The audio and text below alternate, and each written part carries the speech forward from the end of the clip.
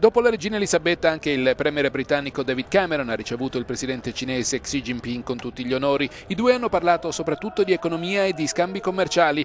Non sono mancate le critiche alla concorrenza sleale della Cina nel settore delle acciaierie che starebbe costando migliaia di posti di lavoro nel Regno Unito. In conferenza stampa un giornalista ha chiesto al premier se lei fosse un operaio siderurgico che ha perso il lavoro allo stesso momento in cui il presidente cinese veniva trasportato in pompa magna, come si sarebbe sentito? Qual è il limite oltre il quale non andare anche a rischio dei nostri interessi economici in Cina. Piccata la risposta del Premier. Critico le premesse di questa domanda sul fatto che si possa avere una discussione con la Cina sul problema dell'acciaio, oppure parlare di diritti umani o ancora avere una forte relazione con Pechino, cosa positiva per gli affari, gli investimenti e la crescita.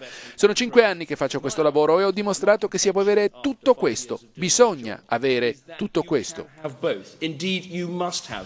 Gran Bretagna e Cina formalizzano inoltre un accordo per la costruzione di nuove centrali nucleari. Pechino si è impegnata col colosso francese EDF a contribuire per oltre il 30%, una cifra superiore agli 8 miliardi di euro, alla costruzione della centrale di Hinkley Point in Inghilterra occidentale e la prima nuova centrale nucleare nel Regno Unito degli ultimi 25 anni.